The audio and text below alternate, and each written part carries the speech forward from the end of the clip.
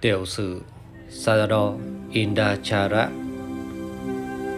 Sajado Indachara Trụ trì thiền viện Rừng thiền 18 dặm Yangon, Myanmar Học vị Ngài thi đậu bằng Dhamma Chariya Bằng Pháp Sư Tương đương bằng Đại học Ngài thi đậu bằng Vinaya Widu bậc thông hiểu giới luật. Ngài thi đậu bằng, tiến sĩ phật học.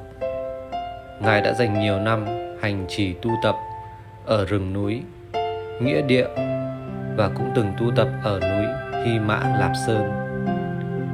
Tại rừng thiền của ngài, luôn tổ chức các khóa thiền ngắn hạn và dài hạn đến các hành giả khắp nơi tu tập. Tại rừng thiền của ngài, hơn 100 chư tăng và tu nữ tu học và duy trì theo truyền thống giới luật trang nghiêm và quy củ.